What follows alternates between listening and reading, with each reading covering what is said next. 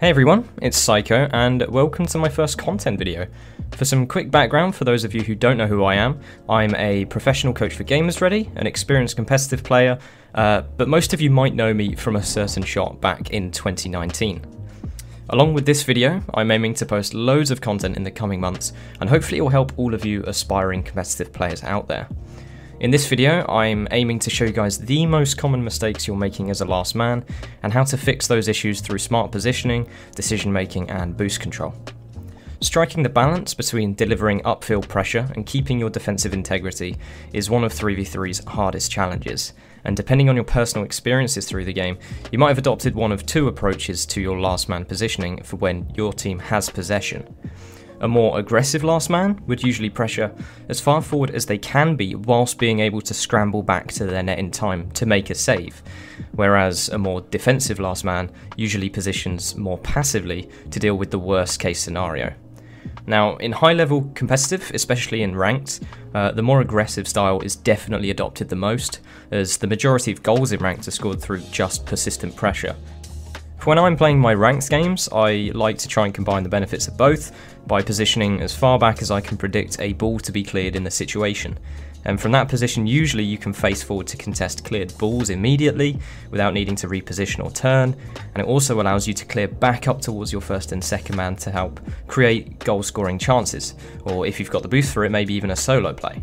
Let's move on to some last man positioning for defense, and this is where things can get a bit more complicated.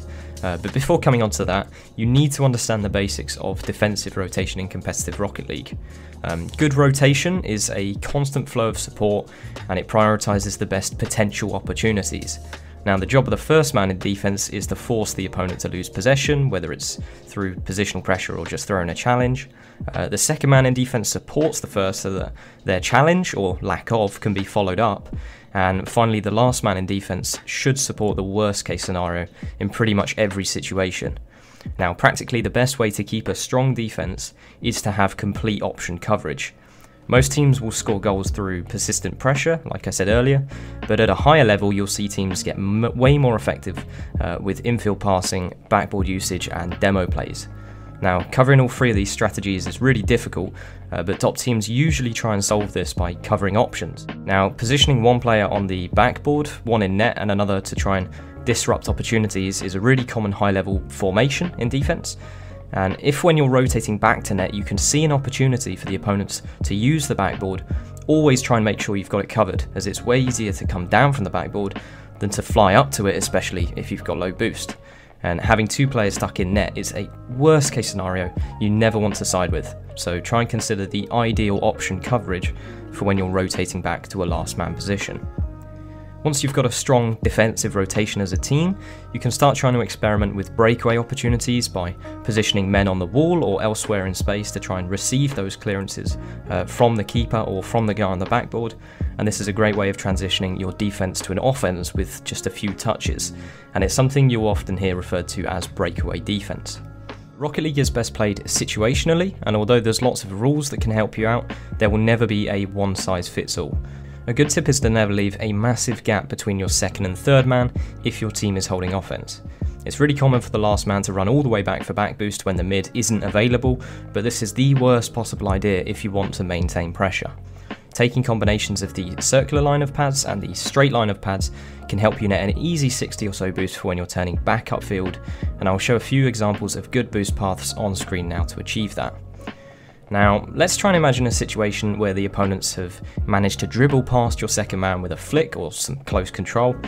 If as a last man you're in the middle of grabbing a back boost, your second man's pressure was essentially wasted. Even though they forced the opponent to move, they'll have enough time to regain control and try to beat you as well, and that's just a risk not worth taking. My final tip for last man positioning is to try and hold strong positions. Now, although everyone mentions momentum being really important for making difficult saves, unless you can see a shot coming, don't get sucked out of position by constantly adjusting it. Patience and discipline are probably two of the best traits for a last man to have. Now, finally, for when you're a last man, make sure to clear towards space and clear towards safety if your team aren't able to follow up. So 9 times out of 10, the corner is the safest place to throw to. Try not to boom it off the ball and center the opponents from there. Don't clang a ball with no boost into the middle, and definitely don't roll a ball up your car if you've got no boost. If this video has helped you in some way, be sure to leave some comments below and I'll be happy to answer any questions you've got. Don't be disheartened if you don't improve right away, Rocket League is all about recognising and learning from new situations. If you wanted to keep up with my content, feel free to subscribe, I've got plenty more tutorials and montage content coming up. Thank you all for watching and I'll see you next time.